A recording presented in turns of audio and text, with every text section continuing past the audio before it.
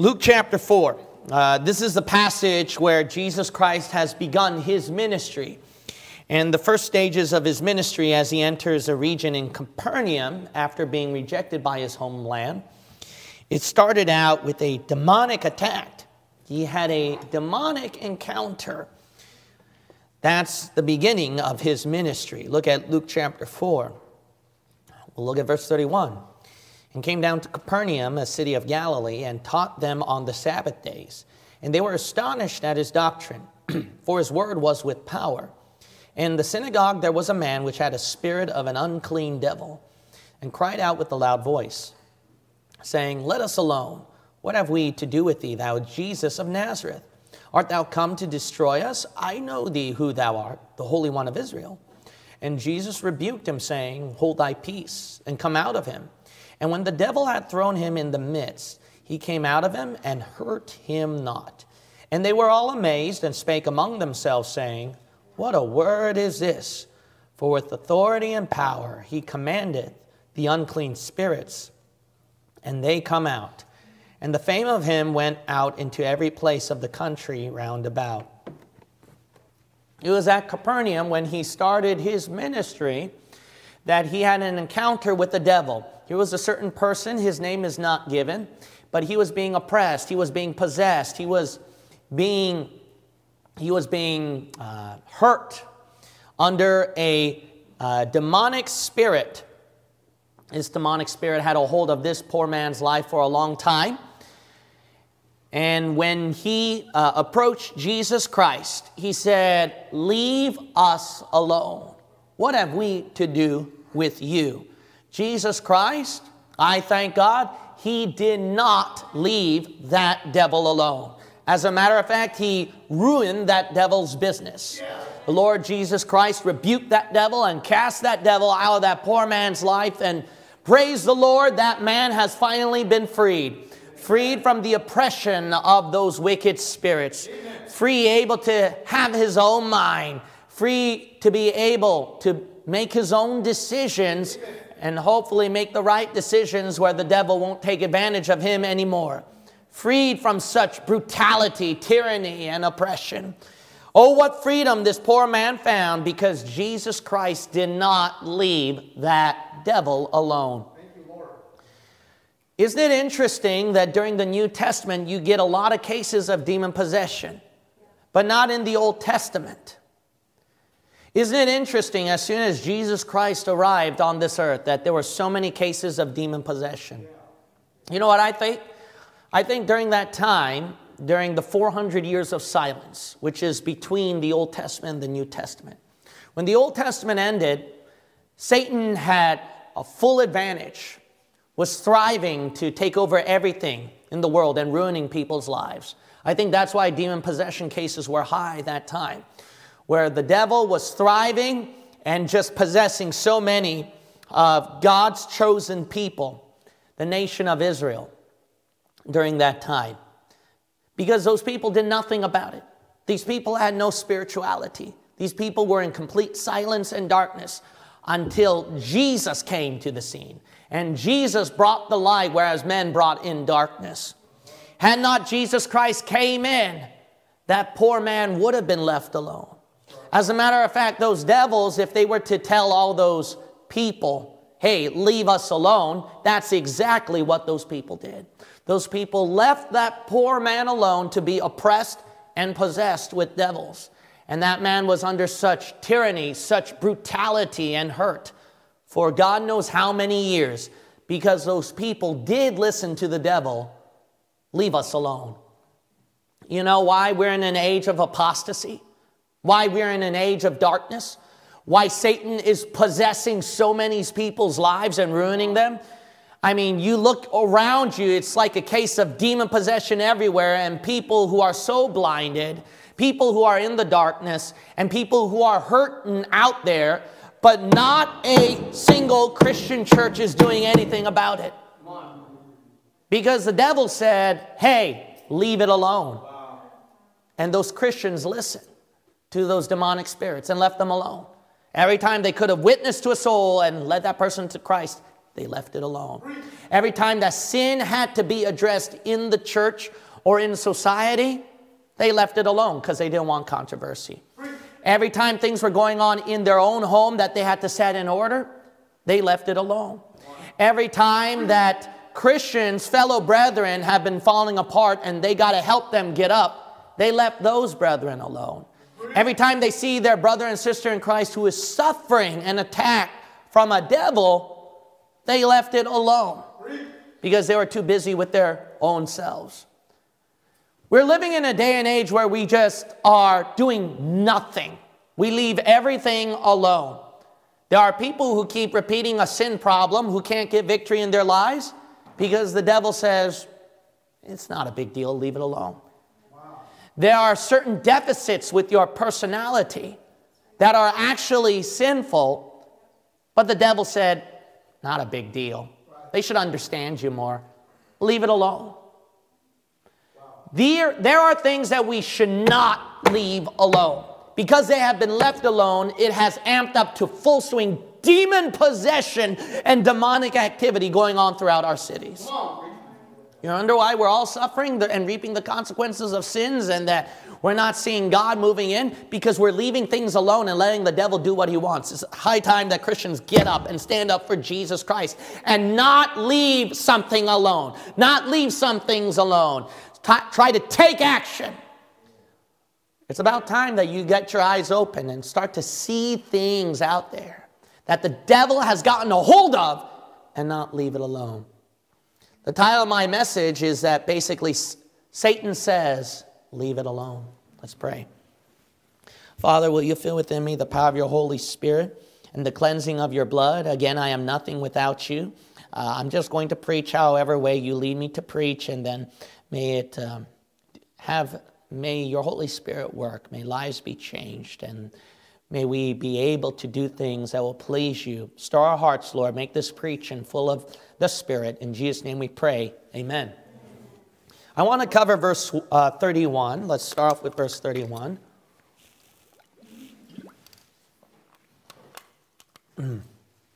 and came down to Capernaum, a city of Galilee, and taught them on the Sabbath days. And they were astonished at his doctrine, for his word was with power. Jesus Christ, he went down to Capernaum to preach and to teach. Notice he did not go down there to cast out devils. He did not go down there with the intention to cast out devils. He went down there to just simply preach and teach the Word of God. As a matter of fact, I think this is pretty much a dumb move. In verse 34, the devil said, Let us alone, right? He wants Jesus to leave him alone. Well, then in verse 31 to 32, Jesus, I mean, all he was doing was preaching and teaching, wasn't he? He wasn't going around saying, hey, give me the biggest devil that I could find and cast it out. No, he was simply teaching and preaching the word of God. This devil was so weird. In verse 33, the devil ran to meet Jesus. If he wanted to be left alone, why would he meet Jesus? That's a really dumb thing to do. You know I would do if I was the devil and I wanted to be left alone? Run away. I would run away. But this devil ran to meet Jesus and demanded, Leave us alone. Isn't that weird? Isn't that weird? It's like the same thing. Here you are, street preaching on the corner, and then some demon possessed, you know, liberal, you know, who's got 20 colors of the rainbow running in his or her or its body, runs to you and meets you and you you uh, you weren't dealing with that person. You had nothing to do with that person but that person you know just saw you miles away from the vehicle just drove up to meet you in the car and then parked right there and screamed at you leave us alone! You know what that is? A thousand devils in that stinking little rainbow unicorn there right? There's a thousand devils running in his or her mind or its mine and then just come out leave us alone! That's what it is now, why would the devil do something like that? It's a weird demonic thing, right? It's a weird demonic thing. Because that devil knows when Jesus Christ is preaching and teaching the Word of God, his intention is not just, hey, I'm just going to preach and that's it. When he's doing the work of God, he has a goal and a purpose in mind. I am coming down here to ruin the devil system. Because the devil had a hold, remember, of that area for a long time. During the 400 years of silence, as soon as the Old Testament ended, you get high rise cases of demon possession, and the devil has a good system going until here comes the Messiah. Until here comes God, and then he just preaches the word of God, shatters the darkness with his light.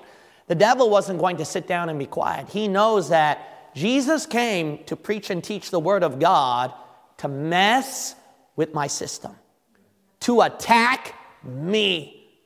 That's what the devil knew. Jesus definitely had that in mind because notice the context. Jesus said his purpose was actually to deliver demon possessed people. Look at the context right here. If we look at Luke chapter 4 and then verse 18, Luke 4 18, the Bible says, and Jesus describes his ministry. The Spirit of the Lord is upon me because he hath anointed, he hath anointed me to preach the gospel to the poor. He has set me to heal the brokenhearted, to preach deliverance to the captives, and recovering of sight to the blind, to set at liberty them that are bruised. See that? Jesus Christ, when he came down to preach the word of God, it was including that intention to give freedom to those who are oppressed, who are enslaved by the devil. Come on, the devil knew that. And that's why he said, Leave us alone. You know, when the devil screams at you, Leave us alone, you sure do a good job in leaving them alone. But, Pastor, I go to church. Pastor, I read the Bible. Pastor, I pray. I do go soul winning. I do pass out tracts. I try to witness. I preach and I teach the Word of God. Well, that's good, but did you always think about this? Did you had it in mind when you're doing these things that I came here to ruin the devil's system? Or are you just reading the Bible just because you're supposed to? Praying just because you're supposed to? Coming to church just because you're supposed to? You have to realize this when we came here, it's true we get it for our spiritual benefit, but we forget the goal that's very inclusive. We came here to ruin that evil one's system. Amen. Know why we meet for fellowship? Sure, to encourage each other, but that encouragement is to stir up our soldier spirits Amen. to fight against the devil's system. Amen. But too many Christians and God forbid Bible believers are so lost in their blessed assurance that they're enjoying their good time, their own Bible believing life. They've got their job, they got their blessings, and they can count their many blessings. They got their brethren, they got a pastor, they got good teaching and preaching. And here they are lost in church while the world is thriving in wickedness and souls are dying and burning in hell. Now we have to keep in mind the reason why we're doing this is to put a dent in the devil's system. And now my question to you is how hard of a dent have you put on his system? Come on, preacher. Have you hardly put a dent? Wow. Maybe the, your Bible reading and prayer life should change. Maybe your church attendance should change. Maybe the way you preach and teach the Word of God should change. Because Jesus Christ, right here at Luke chapter 4, verse 31 to 32, if he was just simply preaching and teaching, that demon possessed person would not have approached him. That demon possessed person approached him because he knew Jesus came to preach deliverance to the captives, to set at liberty them that are bruised. When he was preaching and teaching the Word of God, the intention was to deliver people from the devil's system. Why would he have that in his mind? Because that verse says, liberty to them that are what? Bruised. Bruised. Do you, get, do you forget the purpose of Bible reading and prayer to begin with? Because there are bruised lives. And we need refreshment, healing. We need the power of the Spirit to help us. Because we lived in a bruised world. Do you forget the purpose of Fellowship, it's not for yourself, it's for those other people who are bruised. How many young people have we ignored? How many certain people, brothers and sisters in Christ in church, have we ignored who are bruised? Bruised. How many souls in your home, in your family, out there in the world that are bruised and hurting. No, you don't see that. That's the problem. You don't see the bruises. It's about time you open your eyes and see those bruises. That's the reason why you're not putting a dent in the devil's system. That's why your Bible reading, your prayer life, your service for Jesus Christ is not putting a dent in the devil's system. If you are going to put a dent in the devil's system, it's because those wicked devils out there are bruising so many people's lives and souls and their minds and their hearts. And you could care less about it because you're not seeing their bruises. You're too lost in your comfortable life. I, I, I, promise you this when, you're, when you keep watching TV, your nice home, your own stuff in life, you don't see the plenty of bruises that people are going through out there. You're too blind to that. And that's why you're living your daily Christian life just because. Just because you're supposed to. But you're not doing it to put a dent in the devil's system. And that's the reason why people leave our church. That's why people don't get saved. That's why your prayers are not getting answered. And that's the reason why your preaching and teaching of the Word of God is having no effect on people's lives.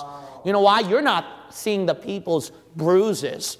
You're more, you're more thinking about how can I preach really great? How can I uh, uh, teach spectacular? You know, how can I get a name for myself?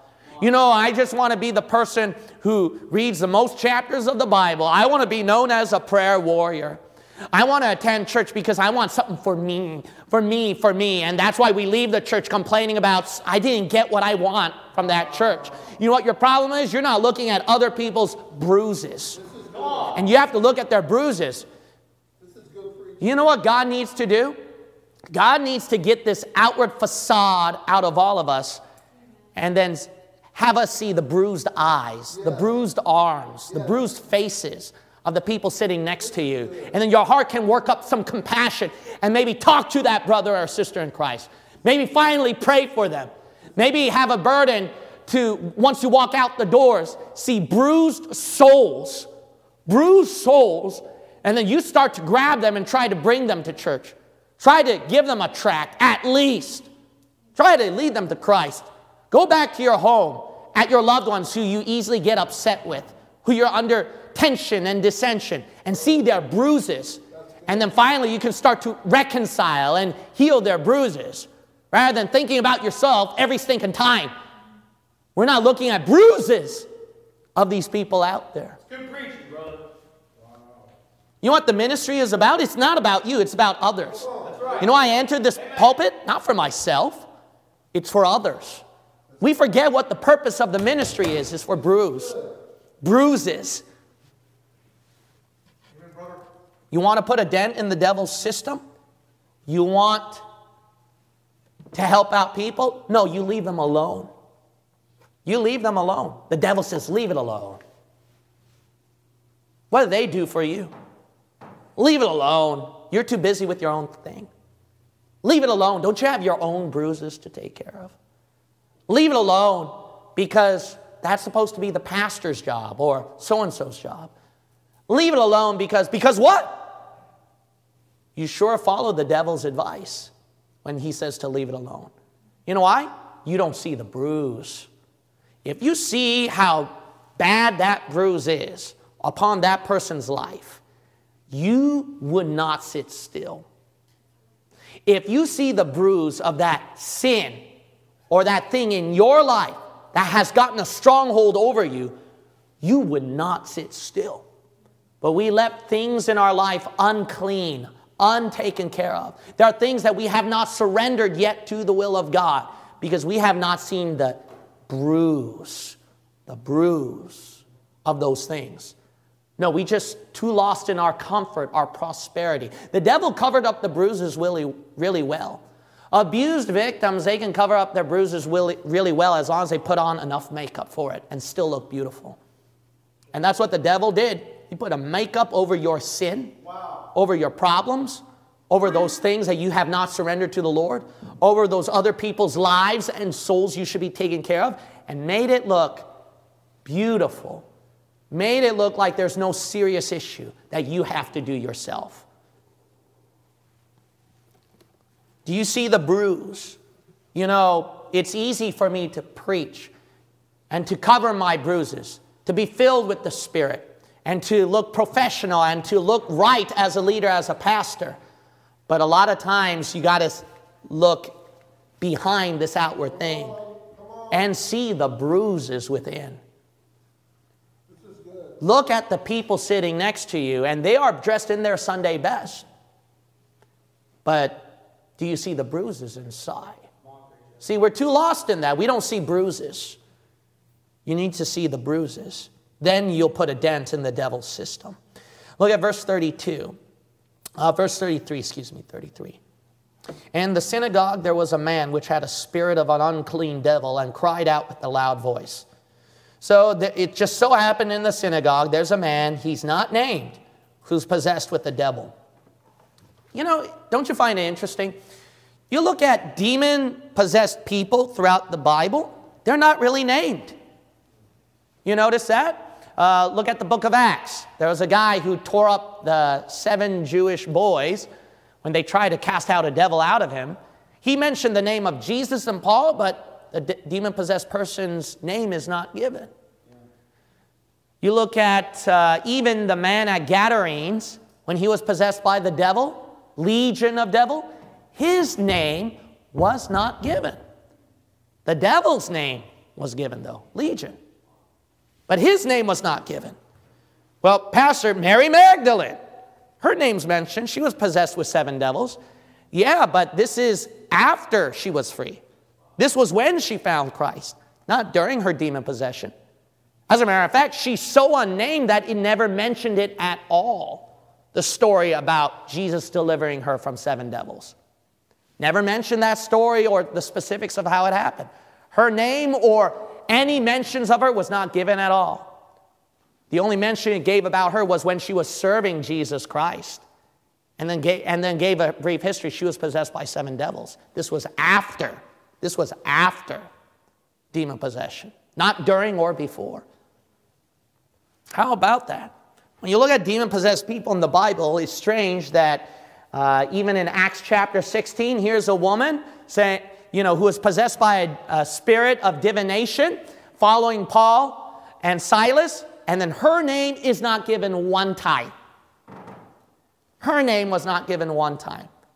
Why is it that, isn't it strange that demon possessed people, during their demonic encounters, their names are not given or mentioned? I wonder why. It's because it's that bleak it's that unimportant. It's not really well known that the devil always possesses and longs and aims for. You know why the devil does that? Because you don't pay attention. If there's something you don't pay attention to, the devil says, Exactly, I want that one. Yes. And he'll possess that thing in your life. You know why there are some things that we wonder in our lives why we can't vi- have victory against? Why we can't change? Some sins that we can't just overcome? The reason why is because there were certain things in your life you lived for so many years that you did not pay attention to. Because you didn't think it was a serious problem. You didn't think the devil would possess or use that against you. But now you're reaping and sowing after 20 years of that. 30 years of that, 50 years of that. And the devil has a stronghold on your life now. Why? Because they were unimportant to you at the beginning. Sure, important now, right? It's taking away your blessed assurance, it's taking away your joy in the Lord. It's affecting your next generations, people around you. Unimportant things the devil always aims for. Oh, wow. Always, all the time, all the time. You know, uh, if you're not going to pay attention to those unimportant places, the devil will. Yes. Those unimportant brothers and sisters in Christ, the devil will. Those unimportant souls out there, the devil will. You know what's sadder than that? Your own family, your own home. It's now be, certain people have become unimportant to you when they should be the most important people in the world, and now the devil got them too. You know, the, uh, the devil always aim at the most at the most obscure, abstract places where you least expect it. Do you know how globalists have thrived today, become powerful today? They always aim at places where people least expect it. They always like to keep things hidden that people don't know about. That's how the devil gets victory. So it's about time that we stop paying attention to our jobs, our schools, our busyness, our TV, and then the latest episodes to catch up and who's going to win the next football game, the next player who's going to make it to the top. And it's about time that we start paying attention to those places that are unimportant to you and realize they soon will play a very important thing in your life if you don't start paying attention now and taking action now. Unimportant, the devil always goes for. The ones that are not known. Easy to think about the pastor, right? He's known, he's on the pulpit, you see him. It's easy to miss out some 10 year old in the church and not see what he or she is going through. Easy to miss out a teenager because not that really important to you. Easy to miss out a brother and sister because haven't been there for a while and it's easy to miss out. Easy to miss out a visitor.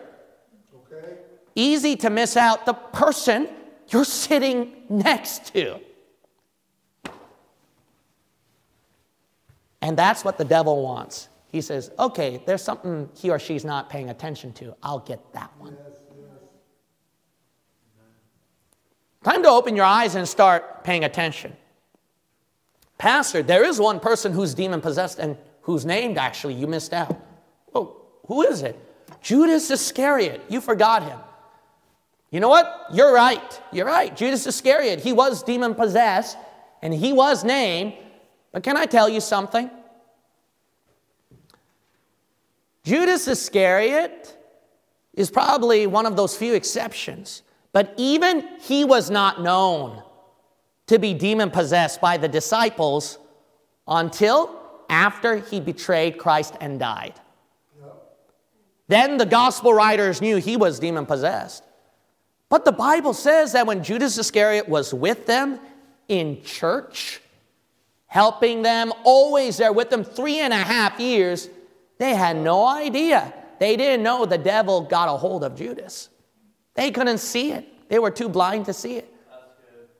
You know what the point is? The devil will get known people, known people in unknown areas in their life where others could have addressed, could have saved them from, but they didn't see it. Here's the pastor, he's known, everybody pays attention, but there are unknown places, see? Unknown places, people he have to deal with, the days that he has to go through, the kind of demonic attacks he gets. He's not going to publicize those things all the time. And the devil is getting a hold of that pastor and then all of a sudden, here comes a Sunday where you expect the pastor to be at his best shape and preach and teaching the Word of God, and he says, Hey, um, I'm going to actually retire. I don't think I'm called to preach. And then it turns like a shock wave to you, right? And you're going to go, Why? What happened? Because there were places you didn't know all that time. What's my point? You think you know your brother and sister in Christ. You think you know the pastor. You think you know your spouse. You think you know your children, but there are unknown places. You have no idea. And you've ignored. You have not addressed. You have not taken care of. And then the devil got a hold of them.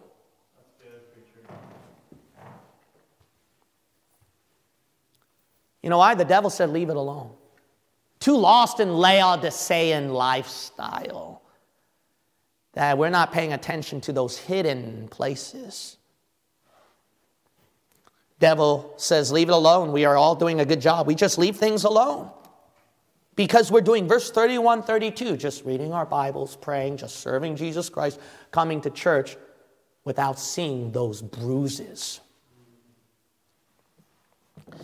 in verse uh, 34, 34, saying, Let us alone. What have we to do with thee, thou Jesus of Nazareth?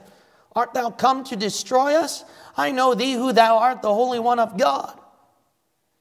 You know why we would listen to that devil when the devil says, Leave us alone? Notice that verse says, What have we to do with thee? Exactly. What have you to do with this man, Jesus? Nothing. He, he's not named. You don't know him. Well, you know, God knows everybody, right, by name? So let's forget that part. But you know what I mean, right? He's not familiar with that person. He didn't have a given history of relationship or familiarity with that person. So, what business did Jesus have to do to cast out that devil from that man? He had nothing to do with it. Jesus Christ did not leave that poor man alone. He says, No, I'm going to butt into the devil's business. Get out of that man. And that man was free. Amen. But the devil, every time he whispers in your ear, as you see a soul pass by you, as you see a brother and sister in need, as you see a bruise from one of your close ones within your life, the devil says, Leave it alone. And then you leave it alone. Not a big deal. Let it go. You know, you got your Bible reading and prayer to do, don't you think so? You know, you got your own life to do, to take care of, don't you think so? You're serving God and leave it alone and then you just listen. Why? Because it has nothing to do with you. But I promise you this if it had everything to do with you, if it had to do with you losing your job, you losing your money, yeah. you where you would lose your health, or maybe if you're in danger of losing your life, if it had to do business like that, you'd do anything to get involved in that. You put your utmost attention to that. If your life was being threatened, you stop everything that you do, no matter how busy or how tired or how preoccupied you are, or how fleshly or sinful you are, everybody would stop what they're doing if their life was at stake and do something about it. Yeah. But see, it has nothing to do with you, so that's it's not threatening like that. It's not uh, it's not a great risk like that. That's why you leave it alone. You leave it alone. Uh, I want you to go to Luke 10, Luke chapter 10. How many times have you listened to the devil every day? Every day. When there's a soul passing by, the devil said, Leave it alone. When there's a brother and sister in Christ who's in need, and then the devil said, Leave it alone. How many times have you listened? How many times when there's something you should get involved in the church to help out with something, and the devil said, Leave it alone, and you listen? How many times have you left holes in your life that need to be patched, that need to be solved and taken care of. But the devil said, Leave it alone, and you listened. How many times? Why? Because we don't think that it has anything to do with us. Let me show you something right here in Luke chapter 10 and then verse 30. Verse 30. And Jesus answering said, A certain man went down from Jerusalem to Jericho. Do you see that? This man's name is not given. Did you notice that? He's not known. So he won't have any business related to the following people. Verse 30 and fell among thieves, which stripped him of the raiment and wounded him and departed, leaving him half dead. Oh, this guy is bruised. You talk about bruised. And by chance there came down a certain priest that way. And when he saw him, he passed by on the other side. And likewise, a Levite, when he was at the place, came and looked on him and passed by on the other side. So notice right here the priest passed by this bruised individual. A Levite passed by the bruised individual. Why? It had nothing to do with them. You know, when the devil said, Leave it alone, they left it alone. Why? Because it's a certain man, it's not someone important to them no connection to them. Verse 33 But a certain Samaritan, this is a person who's not one of them, not one of God's people. He's uh, a half Jew, half Gentile, mixed, corrupted. It's a corrupted individual, basically, corrupted bloodline. as he journeyed, came where he was, and when he saw him, he had compassion on him, and went to him and bound up his wounds, pouring in oil and wine, and set him on his own beast, and brought him to an inn, and took care of him. And on the morrow, when he departed, he took out two pence and gave them to the host, and said unto him, Take care of him, and whatsoever thou spendest more, when I come again, I will repay thee. Notice right here that this Samaritan was the one who took care of the Jew. Now, can I tell you something important? All right? Jesus never mentioned that this Samaritan was a saved individual. He never mentioned about this Samaritan being a saved individual. He just simply instructed a saved Jew or individual to follow what this Samaritan was doing. That's all he did. Now, could it could he have been saved? Could Jesus had it in his mind that the Samaritan was a saved person? Sure, maybe, but maybe not as well. The point is, he never mentioned that Samaritan to be a saved individual. He just simply mentioned that a person who's not one of God's people wow. showed compassion, whereas God's people didn't. Right there. Right there. You know what the thing is? I know it's none of your business and you listen to the devil, but the world makes it their business and they will show compassion to that bruised soul where you will fail to do. And that liberal propaganda has already brainwashed so many of your younger generations now where they think that their professors really show compassion on them. That the news media really looks out and cares for them. That the governments, that they truly want to help out them and give them more of a handout. That their friends in college that their worldly, lost, damned friends who are putting an evil influence on them, that they care more about them than those people in that hateful Bible believing church there.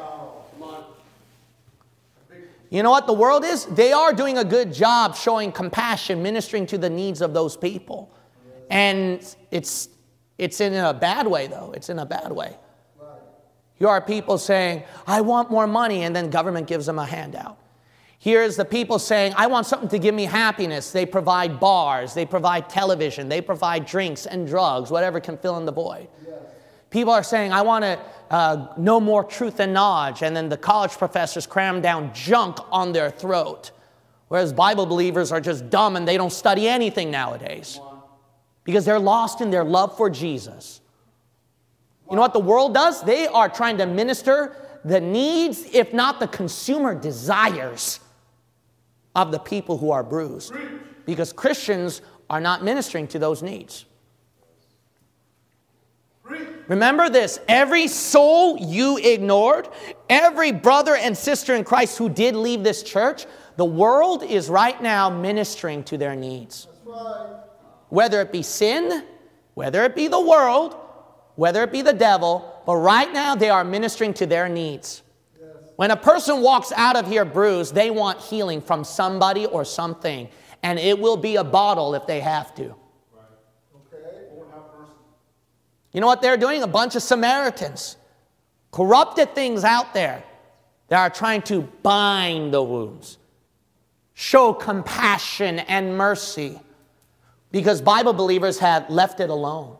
Wow. You know what the, the Bible says the priest and the Levite did? They saw the bruise. But they made a conscious decision to pass by. The world, on the other hand, they rush to meet that person's bruise and need. We're too slow as Bible believers. You have to admit that. We're too slow. There's too many people dying and going to hell, too many people hurting, and we are not fast enough. We can't keep it up well enough to minister ever, every need out there. You know why? Because we're too lost at serving Jesus Christ and doing our own thing. Preach and teaching the Word of God. All of that to begin with is to help those that are bruised. Do you understand?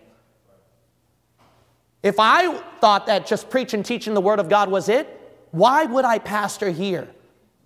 I would pastor in the South. You know that? I pastor, help out my dad's ministry. You know that? Why would I choose here? Bruise. Yeah, right. yeah. Only reason why I stay here is bruise.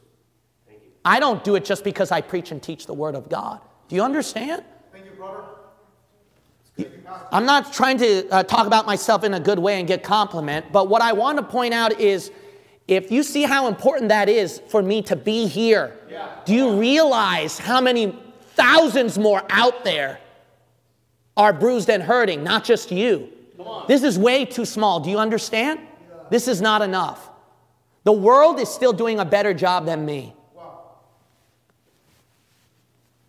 That's good. Go to Luke uh, 4. Luke 4. No, our tithing is not good enough. No, our prayers are not good enough. No, our uh, involvement in the ministry is not good enough. No, our soul winning Bible reading is not good enough. We left things alone. Notice right here, uh, the next part, saying, let, verse 34, saying, Let us alone. What have we to do with thee, thou Jesus of Nazareth? Art thou come to destroy us? I know, who, I know thee who thou art, the Holy One of God. Okay, this devil knows Jesus, right? All right, we know another devil that knew Jesus or a saved believer, right? All right, go to the book of Acts. Book of Acts, chapter 8, 19, 19. Here's another case of the devil said, I know who Jesus is.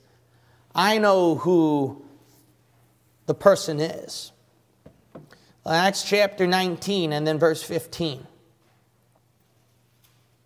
Hmm, it's Acts chapter 19, verse 15. And the evil spirit answered and said, Jesus I know, and Paul I know, but who are ye? And the man in whom the evil spirit was leaped on them, verse 16, and overcame them and prevailed against them, so that they fled out of that house naked and wounded. And this was known to all the Jews and Greeks also dwelling at Ephesus, and fear fell on them all, and the name of the Lord Jesus was magnified. And many that believed came and confessed and showed their deeds. Now, isn't it strange right here? Here's another story of a demon, a demonic spirit who knows Jesus.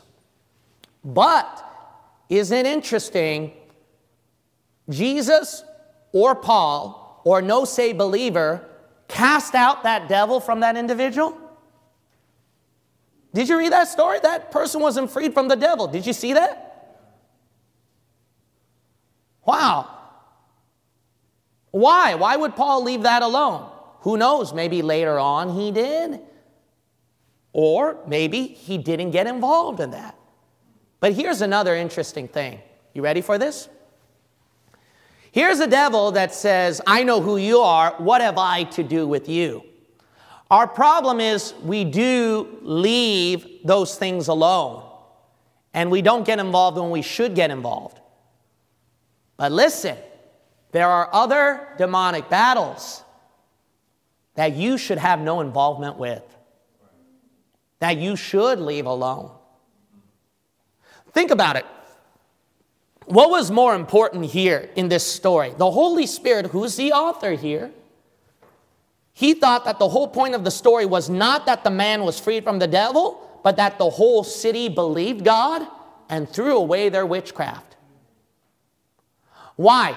Because here's the thing if you're not careful, you can get involved and try to rescue every soul out there, every demonic activity out there, but there are just some cases you need to leave alone because the devil doesn't want you to get involved in probably another person or another bigger group of people who can get victory in their lives, who can be freed from the devil's grasp.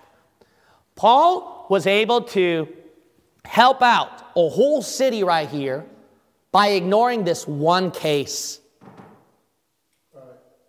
Now, you know what our problem is? Listen, your problem is you get involved in so many little cases, you, you miss out the bigger picture.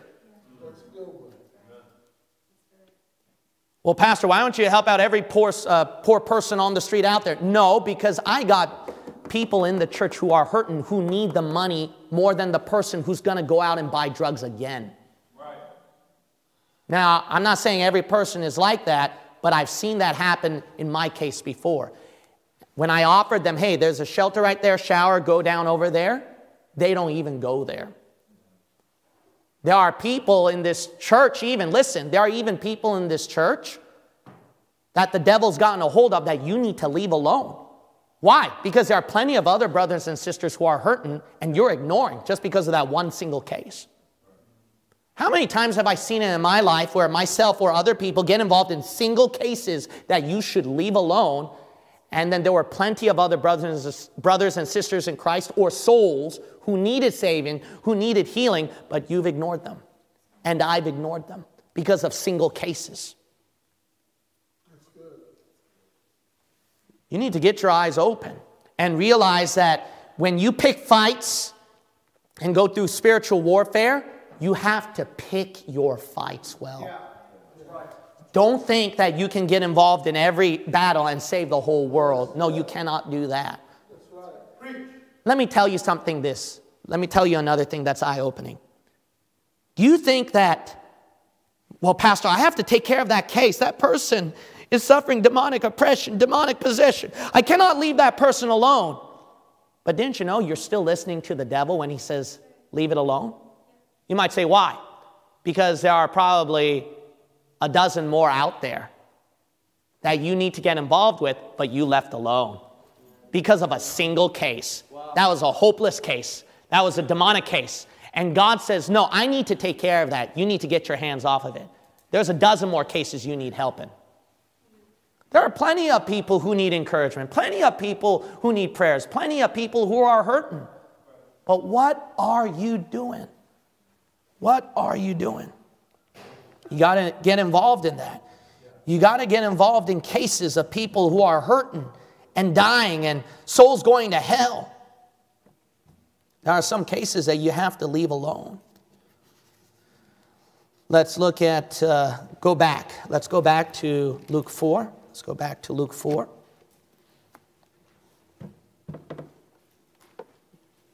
Let's go back to Luke chapter 4. There are some cases that you just need to leave alone and let the Lord handle. And you can't do anything but just pray for them. And there are plenty, trust me, there are plenty of other cases you left alone that you need to do. And you can't waste all your life and time on a single case that the Lord's hand is not going to be on. There are plenty of cases you left alone that you need to take care of. Don't you think so? It's about high time you opened your eyes and realize that you've listened to the devil long enough when he said, Leave it alone. Leave it alone. Why don't you pay attention to this single case right here? This hopeless case right here. This thing that nobody cares except you. Why don't you take care of that one? See, the devil can blind you real fast if you're not careful. Look at Luke chapter 4, and then we'll look at verse uh, 35. The Bible says, And Jesus rebuked him saying, Hold thy peace and come out of him. And the, when the devil had thrown him in the midst, he came out of him and hurt him not. It could have been simpler when Jesus said, Come out of him, that the devil just comes out of him. But isn't it strange that the verses, the devil didn't hurt him, but the devil just had to throw him in the middle of the room, right? But he didn't hurt him, you know. Why would the devil do something like that. I mean, the devil can't hurt the man if he's being cast out, but the devil just wants to be thrown in the middle of the room. Why? Why? If he can't hurt him, why would the devil want to do that? Because it's interesting when you read demon possession cases or people who claimed it or even the Bible itself, demonic spirits has a lot of force in them. Whether they their very presence and atmosphere has a lot of force in it. So think about it. This person has been possessed, so possessed by the devil. The devil has gotten such a stronghold on him that when the devil comes out of him, it's not going to come out of him easily. It's going to take a lot of force, a lot of pressure for that devil to come out, that the body can't handle it, that's just thrust in the middle of the room. That's how much of a stronghold and a possession the devil got upon that poor individual. You know what the thing is this is that when you're in the business of spiritual warfare against Satan and his wicked one, and then you're trying to heal bruised souls, remember this. Even though you can get victory, The devil's going to come out, and you can conquer things in the name of Jesus Christ and by the blood of his son. And then Jesus came to set those captives free. Remember this it's not going to come out that easy, buddy. It's going to have a lot of pressure. Why? Because the devil had a strong hold on that person, on your sin, on those holes in your life on things in your home, things in your place, your work, your school, your relationships. The devil has gotten a strong hold on that one that when that devil comes out, remember this, it's gonna, there's gonna be a lot of pressure. A lot of pressure that's gonna come out of that. Well, I, I would conquer the sin better, I would help out the people better if there wasn't that much pressure. You're in la la land. You know why? The devil had a stronghold for years on that person or the thing that you're going through. And because it's such a stronghold, when it comes out, buddy, that thing or that person or the instance in your life can't take it. It's to shake. It's to be under pressure. It's to fall apart. You're going to lose stuff precious things might, might be lost. Things are going to shake up really bad. You're going to wonder, where did that come from? But remember this there's a lot of force and pressure that comes out when that devil gets out of your life.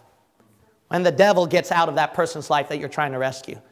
You think that I can plan a church here without any pressure, without any demonic attack? You ever wondered, why do demonic attacks happen to me when I'm serving God? You know why? You're getting the devils out. And who says there's no shaking up, no pressure after that when they come out?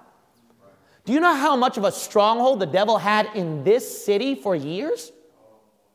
And you think that anybody wants to pastor a church over here? You think I got a hundred people like that at the first day? Ask some of these people. It wasn't like that. It took a lot of shakeup, took a lot of pressure. Demonic attack after relentless demonic attack, demonic attack. You know why? Brethren, because you're kicking out devils. And it's going to take a lot of pressure and force. Let's go back here at verse 36. And they were all amazed and spake among themselves, saying, What a word is this! For with authority and power he commandeth the unclean spirits, and they come out. Man, these people were like amazed by the power of God. They're saying, Wow, look at what he was able to do. By his word, by the words of Jesus Christ, it has authority, it has power. He was able to cast out the devil, he was able to free that person. What a wonderful thing, what an admirable thing. When you and I see a miracle of God, we would respond the same way. Wow, what a word is this? What an amazing thing. How many testimonies have we given about thank God for doing this, thank God for doing that? Amen. How many miracles have we seen in our lives?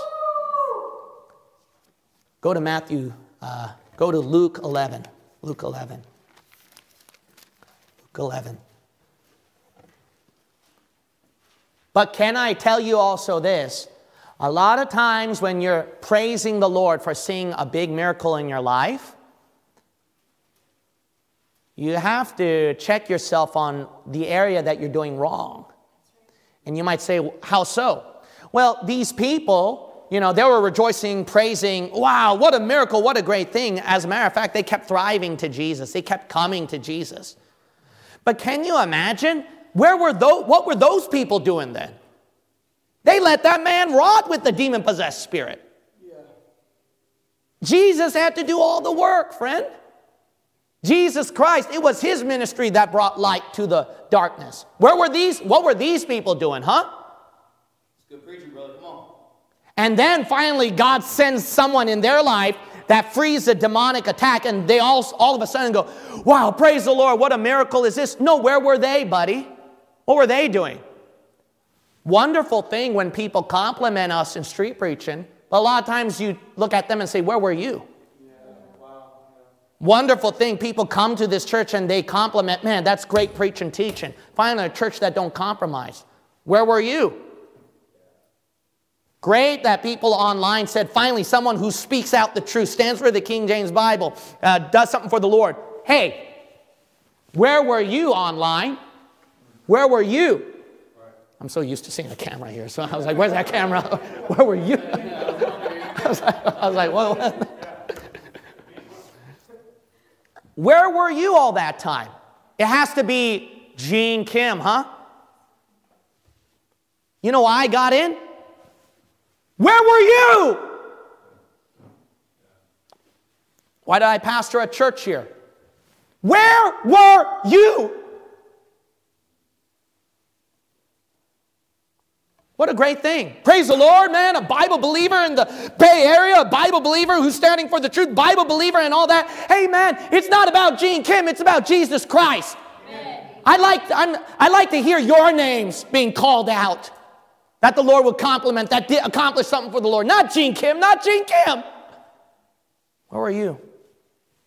You know why? We have a Calvinist mentality that when the devil says leave it alone, God will handle everything. God will raise up somebody. It's Gene Kim. Lord raised him up as a champion in the Laodicean age, and he'll do everything. Where were you? You listen too much to that whisper of the devil. You know why we have a Calvinist mentality? Because we feel like that we can't do the job ourselves. We feel like, well, I don't know what to do.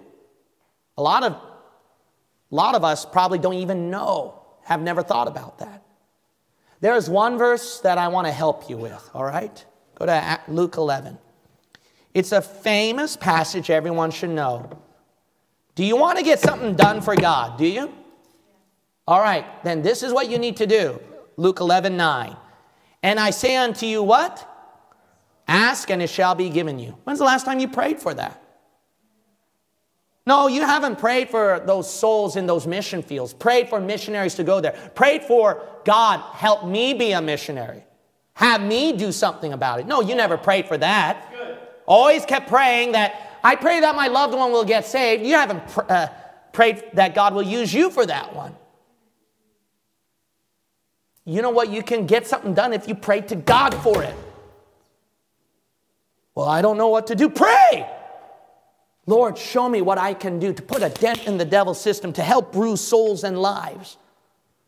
Have you prayed? Second thing right here is notice, seek and ye shall find. When's the last time you researched?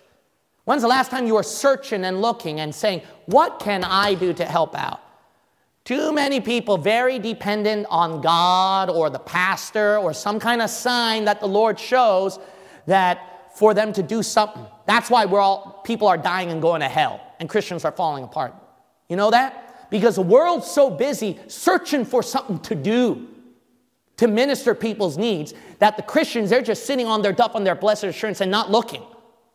Why not sign up for campaigns for Christ? What's holding you back? Come on. Why not uh, look, uh, participate in the soul winning events? What's holding you back? Right. Why not come to the fellowship help out? Why not sign up on some of the volunteer sheet? Why not do something? right. Why not look around yourself and then see what you can do for the Lord? Amen. Doesn't have to be a church thing, it's even your own life. Amen. Have you even done something like that? You need to search for something out there to do for the Lord.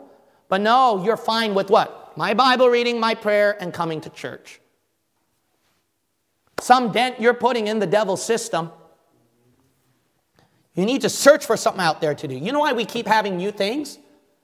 Because it takes somebody with a vision who keeps thinking, seeking after what can I do to minister to needs out there that will be effective, that will work. Look at the next part. It says, Knock and it shall be opened unto you. You can't just search methods or things to do where you can help out bruised lives. You got to actually do it. You got to actually do it. You got to do the knocking. You got to open that door. That way that you can have an open door and do something. You know why there are no open doors in your life? You're not even opening it. You're not knocking it to be open. Maybe some of you are doing that. And you're saying, well, Pastor, I tried knocking, and every time I knocked, the door was closed to me. It seemed like I made it worse. Every time I try to witness to my loved one or try to show them right doctrine, I just chase them away. Hey, that verse says don't knock after closed doors. Knock after what? Open. Open doors. You know what your problem is? You're not opening the doors that should be open. And you're wasting time on doors that are closing even harder on you. All right, if that right doctrine that you tried to show to that loved one didn't work, try another way where you think they might open up to. Never thought of that, huh? Your testimony? Wow. Come on. That's good. How has that been ignored so many times? But no, uh, you don't want to do that, right? Because it takes a lot of effort on your part to clean up your life, to show grace and patience. Wow. Maybe that's your problem. What would be more of an open door? Maybe a track? Yeah. Maybe your kindness? What is it? Some spectacular testimony you are, huh? You have to look at things that will open the doors.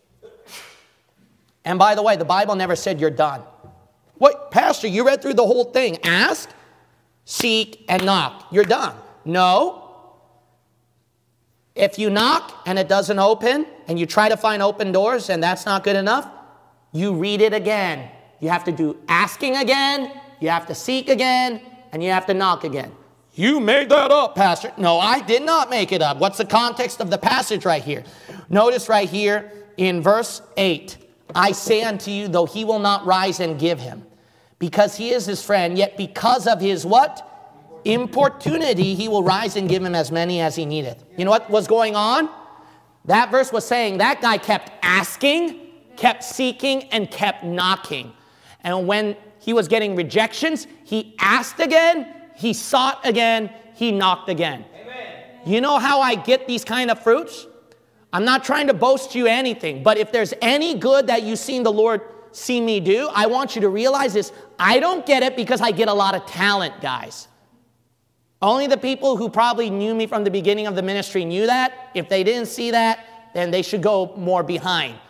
This is an example. I am evidence of a person who didn't ask or seek or knocked once. He was kicked around.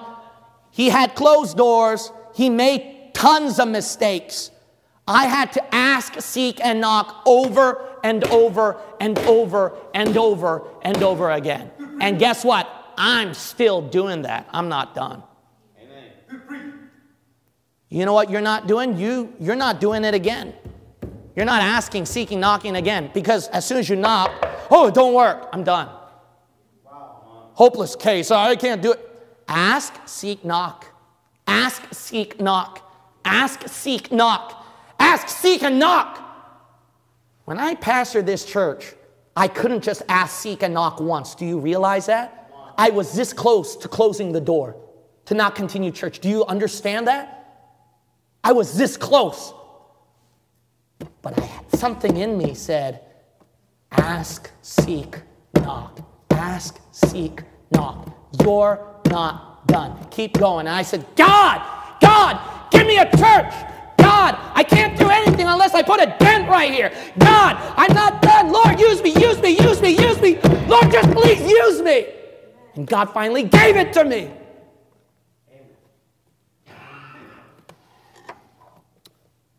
Ask, seek, knock.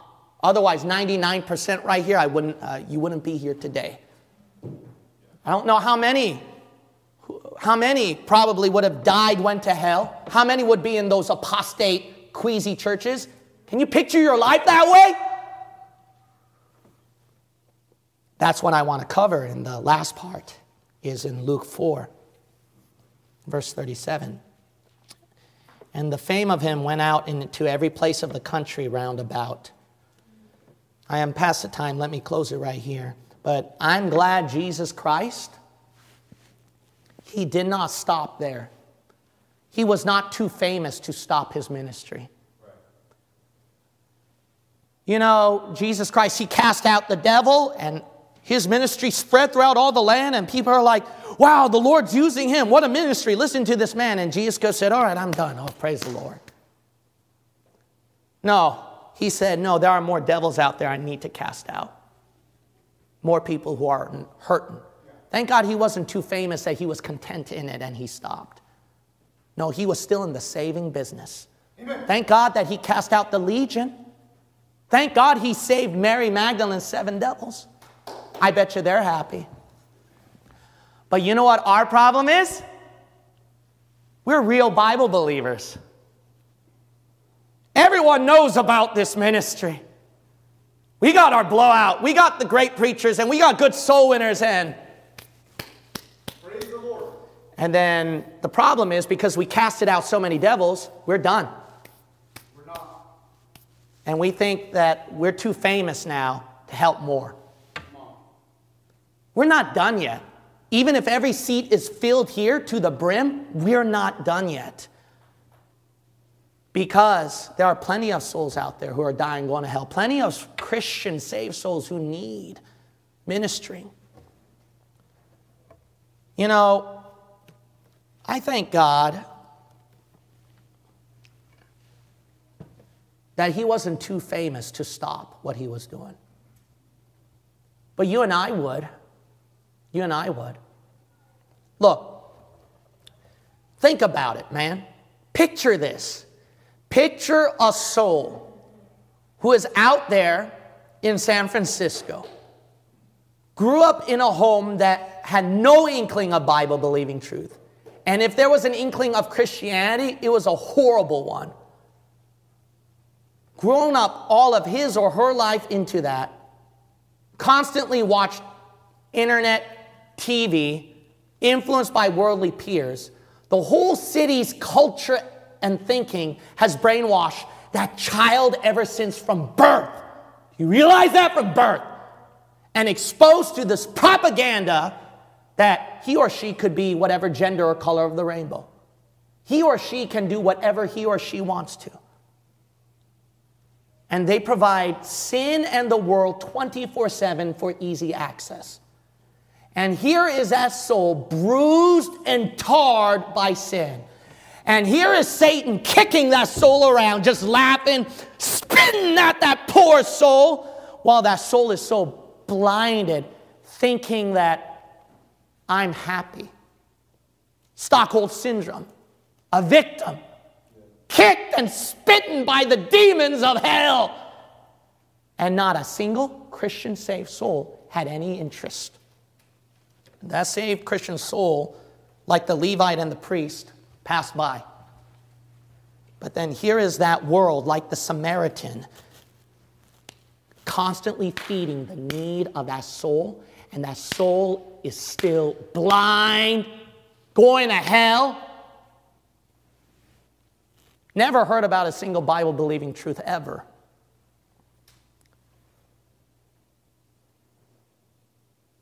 But thank God that what is the one out of a million chance somebody gave that person a track? One out of a million chance a person could tell them about the gospel? Amen. One out of a million chance they come across one of our videos?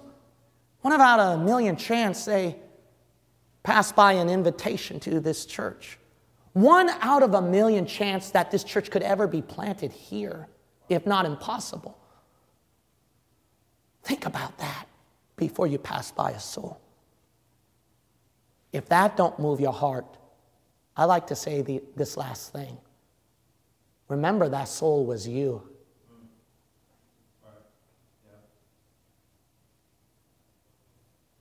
Don't you thank God? What is the one out of a million chance? Somebody or reached out, pulled you out. Thank God your life got saved. You saw the light. Your soul got saved from hell. You got the truth above all truths, Bible believing truth. You better thank God for that. Thank you, Lord. Maybe you could care less about a person who's living your life right now and who's blinded by darkness and who'll go to hell. At least think about yourself, huh? That you were that person. Every head bow and every eye shut.